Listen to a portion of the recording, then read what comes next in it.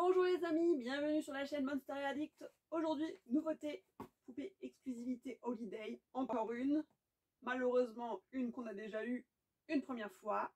Je veux parler de la Skelita Calaveras. Donc là, je l'ai reçue, je sais qu'elle est dedans sans protection, parce que j'ai un trou dedans et que j'ai vu que la boîte était dedans. Donc j'espère ne pas avoir de dégâts. Ça sera la surprise, mauvaise ou bonne, à voir. Euh, je l'ai quand même payé 70 euros via Amazon, donc j'espère que ça sera quand même pas du gâchis. Surtout si elle est cassée, pouvoir avoir un retour. Bref, on va se déboxer ça et je vous la présente tout de suite. C'est parti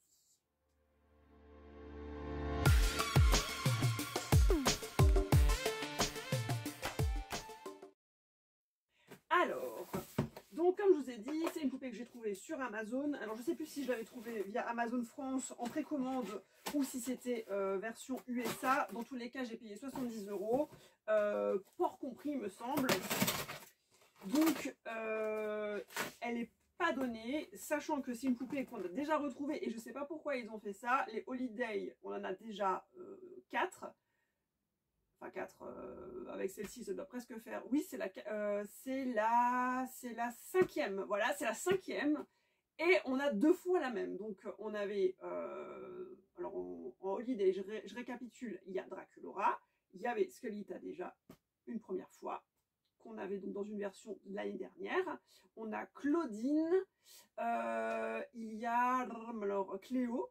Voilà Cléo donc ça fait 4 plus celle-ci donc 5 donc 5 holiday, et deux fois le même personnage. C'est bien dommage, parce que euh, des personnages Monster High, il y en a plein, surtout au niveau des filles.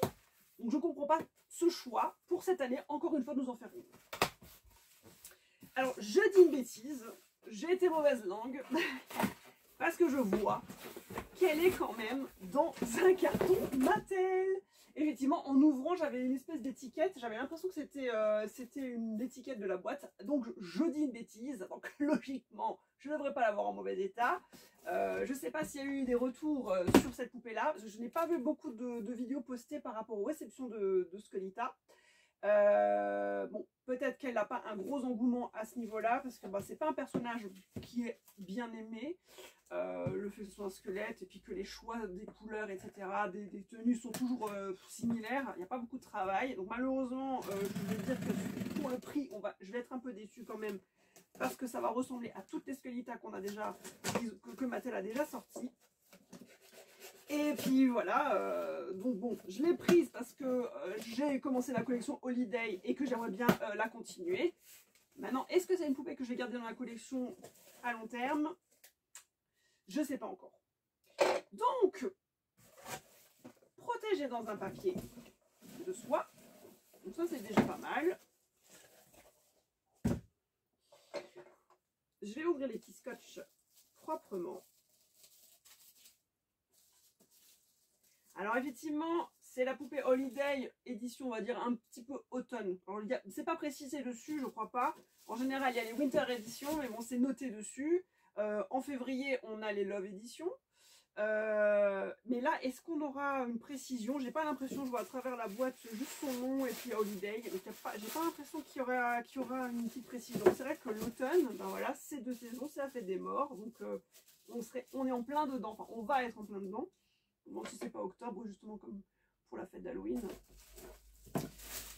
Alors, décidément, des scotch, il y en a partout. Elles seraient presque encore mieux emballées que les collectors. Voilà.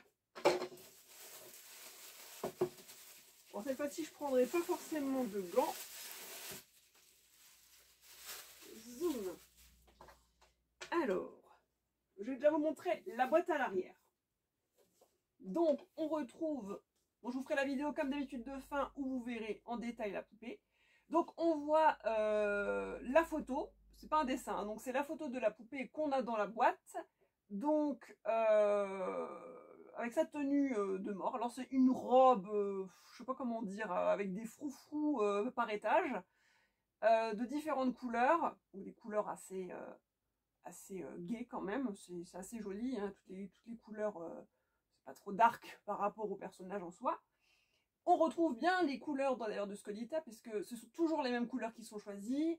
Il n'y a pas trop de, malheureusement, de, de, c'est pas très varié au niveau des tenues. C'est dommage parce de quoi faire quand même. Là, cette fois-ci, elle a un chapeau. Je crois que dans les autres, elle a, pas elle a plutôt des coiffes. Là, ils lui ont mis un chapeau. Euh, un chapeau avec des fausses plumes.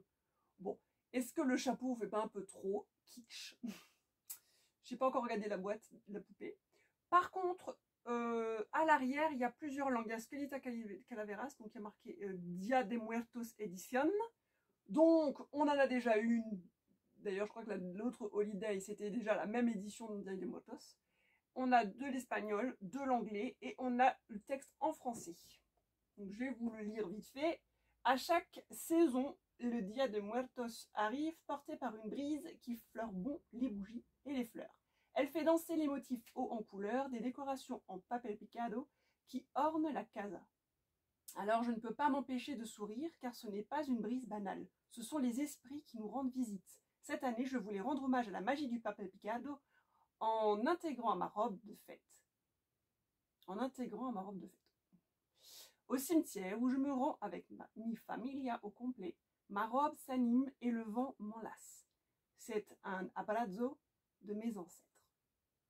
Donc toujours, alors, j'ai vu qu'il y a un petit travail un peu différent. On a du transparent de côté, euh, avec le rappel de, d'ailleurs souvent les mêmes, les mêmes choix de motifs, des papillons, des bougies, un peu de fleurs. Donc tout est transparent de côté, donc des deux côtés trouve ça quand même assez joli et un petit peu différent d'habitude. Le travail de la boîte, le fond est un petit peu mieux travaillé. Donc c'est très très très coloré.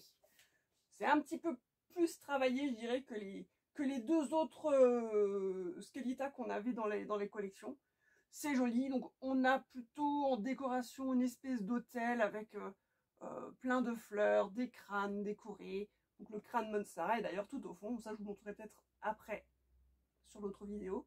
Euh, donc on voit bien sa robe en différents étages de froufrou, ce chapeau qui est quand même très très grand, euh, la coupe de cheveux toujours la même, toujours les mêmes couleurs, donc le noir et l'espèce de vert euh, canard ou vert pétrole, et à pour une fois ils ont rajouté une mèche orange. Je n'ai pas l'impression qu'il y avait ça dans, dans l'autre dans l'autre holiday de, de Skelita. Elle a un maquillage un petit peu différent cette fois-ci. On toujours le même au niveau de la bouche. Donc toujours euh, du rouge à lèvres avec des traits, euh. Mais elle a une décoration au niveau des joues qui sont comme des filets de toile d'araignée.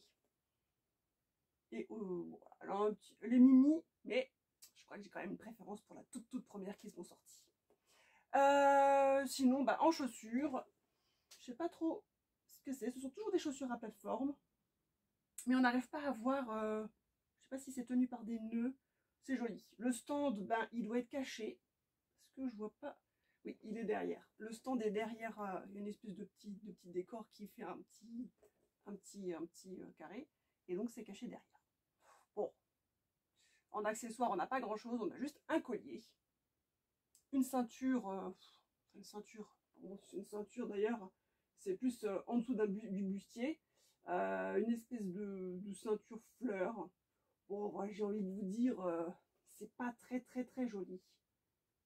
Il y avait de quoi faire. Je sais pas, on dirait... Euh, ça fait pas très mexicain là, je trouve cette fois-ci. Ça fait plus euh, bayou. On dirait un petit peu... je sais pas, un côté un peu... un peu marécageux, je sais pas. Un peu comme en Nouvelle-Orléans. Je sais pas ce qu'ils voulaient représenter. C'est pas la plus belle robe qu'ils ont faite, hein, on est d'accord. Dites-moi ce que vous en pensez dans les commentaires. Je vous la montrerai plus près de toute façon. Pour une fois, la boîte est bien, décorée. Mais le personnage en soi, ah, peut mieux faire. Bon, bah en tout cas, j'espère que vous avez aimé cette vidéo. Euh, bah, N'hésitez pas à vous abonner à la chaîne comme d'habitude, liker, partager euh, pour voir toutes les nouveautés. Parce que bien entendu, il va encore y en avoir. Là, c'était rapide. Là, j'en ai eu une rapidement, donc presque deux en une semaine. Il faudra un petit peu patienter pour les autres, je pense. Mais en tout cas, voilà, abonnez-vous pour vraiment avoir toutes les dernières sorties Monster High type G1. Voilà, je vous dis à très très bientôt. Et puis, ciao ciao